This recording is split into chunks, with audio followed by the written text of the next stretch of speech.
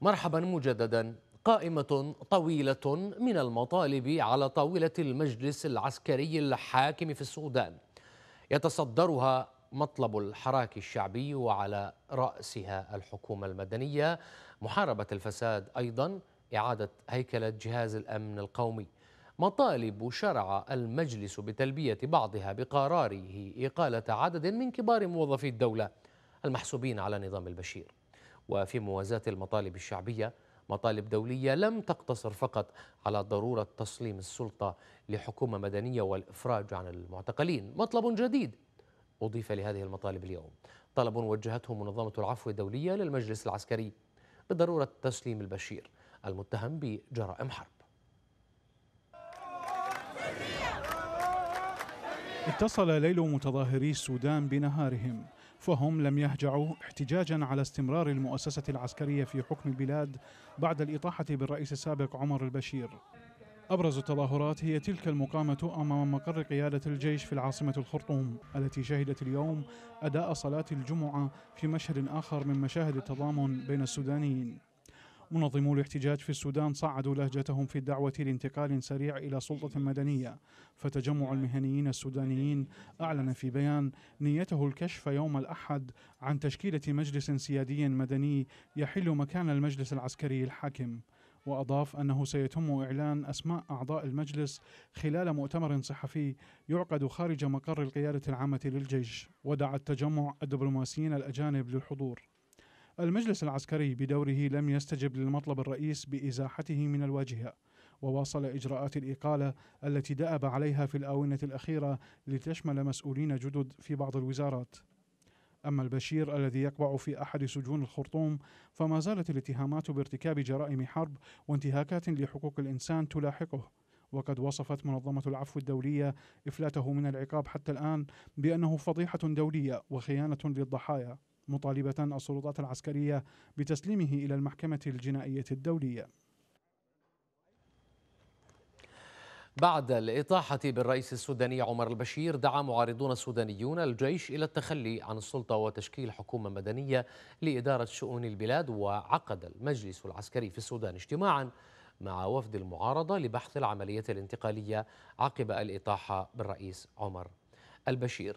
تطالب قوى المعارضة السودانية باعتقال ومحاكمة كل قيادات جهاز الأمن والاستخبارات وإعادة هيكلة الجهاز الأمن والمخابرات أيضا وحل كتائب الدفاع الشعبي والشرطة الشعبية. دعت قوى المعارضة إلى محاكمة جميع المتورطين في الفساد وإعادة جميع مقار حزب المؤتمر الوطني الحاكم سابقا إلى الشعب.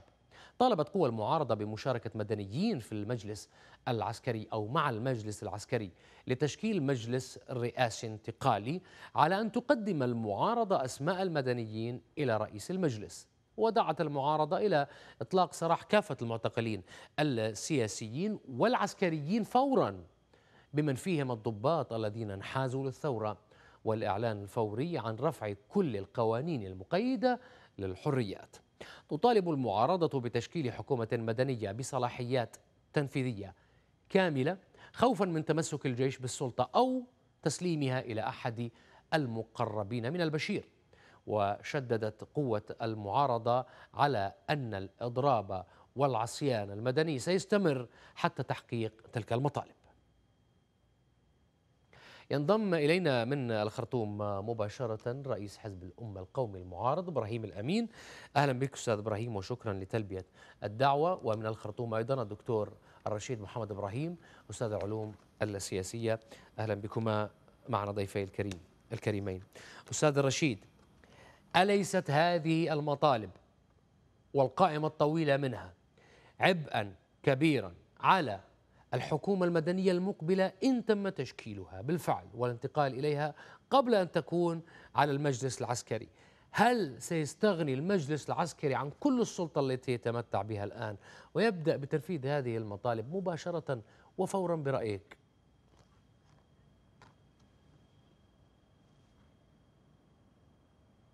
نعم لا شك أنه المستقبل السياسي للسودان الآن تحدده تموضع الجيوش والحشود على الأرض. وذلك واضح من حشد تحالف قوى الحرية والتغيير على الإصرار على الإبقاء على حرارة المد الثوري في الاعتصام. وكذلك أيضا هنالك إصرار من جانب المجلس العسكري الانتقالي على أن يكون تكون القرارات والمراسيم التي تصدر ذات محتوى عسكري أمني كما هو حادث مع البيان الذي يعني صدر مساء اليوم عبر موقع السودان لايف بأن تسليم القيادة السيادية لن يتم لقوى التغيير والعدالة وأن تمثيلها سيكون عبر اختيارها لرئيس وزراء مدني والتمثيل سيكون محدودا جنبا إلى بقية القوى كما أنها أصدرت توضيحا بأن المجلس العسكري لن يحل جهاز الأمن والمخابرات الوطني ولكنه سيعمل على إعادة هيكلته كما أعلن رئيس المجلس في أوقات فائتة. ربما يدفعها إلى ذلك تجربة حل جهاز أمن الدولة وأنه جهاز فيه كثير من المعلومات والوثائق. ثم أن عملية حله عمليا في مثل هذه السيولة التي يعيشها السودان تبقى صعبة إذ أنه جهاز ذو طبيعة قتالية وليست معلوماتية محضة. يملك تسليح جيش كامل. يملك أصول عربات. يملك طيب. معلومات للمخابرات السودانية في الداخل والخارج. طيب. كما أن لديه أيضا شركات ذات طبيعة م. استثمارية. فنعم تمام. أهم أهم مطلب من كل هذه المطالب اليوم تسليم البشير. ما الذي يريده الشارع؟ يريد يريد يريد الشارع يريد الشارع اليوم. أن يرى البشير في في السجن في الخرطوم في السودان اليوم. أم يود الشارع أن يرى البشير خارج السودان ومسلما إلى المحكمة الجنائية الدولية. بسرعة إذا سمحت حتى ننتقل للاستاذ الرشيد. نعم. نعم الانتفاضة آه، كانت هتافاتها وشعاراتها زي في اتجاه إزالة نظام الرئيس البشير. آه، لم يكن صوت تسليمه آه، للمحكمة الجنائية حاضرا. وموقف المجلس العسكري تم إعلانه منذ الوهلة الأولى للمجلس عبر الفريق أول عمر زين عابدين هو رئيس اللجنة السياسية قال أننا لن نسلم الرئيس البشير إلى المحكمة الجنائية آه، وغالبا طبعا الحكومات ذات الطبيعة الانتقالية لن تتورط في قضايا تمام. مصيرية هذه معلومة يعني من السياسة طيب. بالضرورة وربما الترجيح آه، أن تسليمه إلى الجنائية ربما يجر على السودان ويهدد المصلحة الوطنية السودانية كما أن وجوده في كوبر آه، أيضا يمثل رمزية للذين طيب. يأتون من بعده أن من يبقى وأن من يطول أمده في الحكم وهكذا طيب. سوف يكون طيب. مصيره طيب. السجن طيب. إلى أي مدى تقف يا دكتور الرشيد مع التحليل الذي يضعه أو مع الإجابة التي طرحها نائب رئيس حزب الأمة القومي المعارض إبراهيم الأمين بهذه البساطة أو ليست بهذه البساطة؟ قد يكون هناك تعقيد. يا أخي يعني في في آخر الأحداث التي وقعت تمت آه، إقالة آه، آه، وكيل وزارة الخارجية على خلفية بيان لم يتماشى مع وجهة نظر المجلس العسكري وهذا حصل. يعني بالفعل يعني هل تتوقع بأنه سيتعاطى مع هذه المطالب المقبلة والتي ستسحب من تحته البساط؟ معقول يا أستاذ الرشيد؟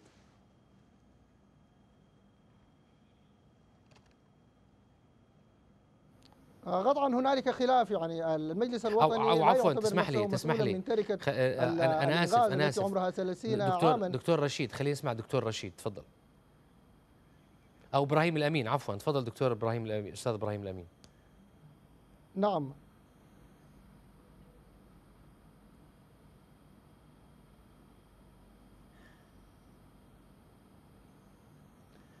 تفضل أستاذ الأمين تفضل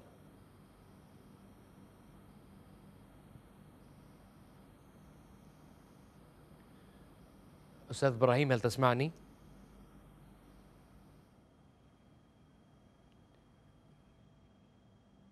طيب. فقدنا أستاذ آه، إبراهيم آه، لا يسمعني وتداخلت عليه الأسماء آه، اعذروني جدا. اذا دكتور رشيد مرة جديدة اليوم. هل تعتقد بأن ما سيثقل ربما كهل نفس السؤال يعني طرحته قبل قليل على الأستاذ إبراهيم الأمين ولم يسمعني؟ إقالة وكالة وكيل وزارة الخارجية السوداني.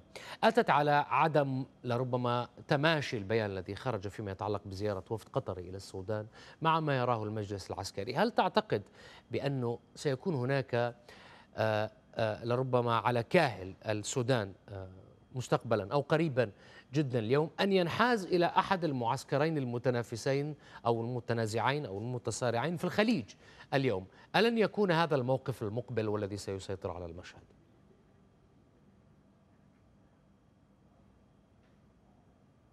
نعم واضح أن إغالة وكيل الخارجية جاءت على خلفية البيان الذي أصدره دون علم المجلس وفي هذا قصور واضح لل للبروتوكولات التي تحكم العلاقات بين الدول كما أن المجلس الانتقالي يمثل رمز السيادة وبالتالي هو الذي يقود الدبلوماسية الرئاسية إن صحت العبارة. كما أنه أعطى فرصة أيضا للمجلس العسكري لكي يمضي بعيدا أصلا في عملية الإصلاح. التي يعني على رأسها وكلاء الوزارات والخارجية هي في هذا كما أنه قد يكون أعطى رسالة إيجابية يعني للمحور الإماراتي السعودي المصري بأن المجلس بات قريبا من هذا المحور بفضل الحضور والسلوك اللاحق يعني لدول المحور في الإعانة السودان وفي الوقوف معه. مقرونة هذه بتصريحات نائب رئيس المجلس الفريق أول حميتي بأن قوات السودانية ستكون باقية في اليمن فيفهم طيب. القرار في هذا السياق طيب. طيب. أقاطعك. بإصلاح الدولة طيب. تمام. وبالإلحاق بالتزامات أقاطعك أقاطعك أستاذ إبراهيم أستاذ إبراهيم هل تسمعني الآن بقي دقيقتين واعذرني فقدنا الاتصال معك أستاذ إبراهيم برأيك هل سيستجيب المجلس العسكري أه، هل سيستغني نعم. عن البساط وهل نعم. سيسلم إلى سلطة مدنية لربما من دون عوائق تقف أمام المعارضة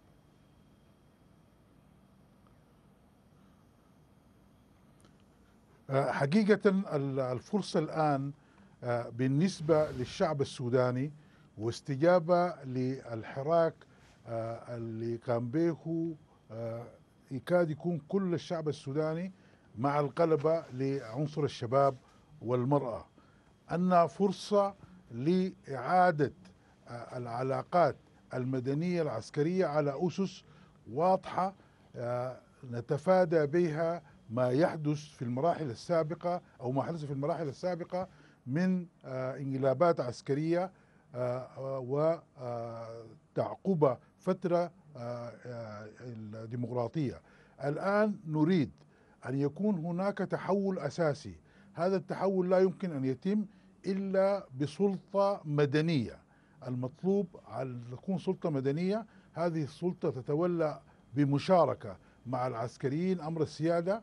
وسلطة تنفيذية حكومة بصلاحيات كاملة وسلطة رقابية تمام. مجلس يتولى طيب. آه مهام الرقابة والتشريع جميل. آه نحن نطلب من العسكريين بسرعة عشر ثواني أن يتقبلوا هذا نعم أيوه. لأننا نحن طلاب مستقبل جميل. أود أن أشكرك وظلمتك أنا اليوم بالوقت ولربما يعني الجانب التقني اليوم لم يساعدنا. أستاذ إبراهيم الأمين نائب رئيس حزب الأمة القومي المعارض من الخرطوم. شكرا لك. ومن الخرطوم أيضا الدكتور الرشيد محمد إبراهيم أستاذ العلوم السياسية. بيقطع. نعم نعم. الاتصال صعب في الخرطوم في كثير من الأحيان. شكرا لكم ضيفي الكريمين.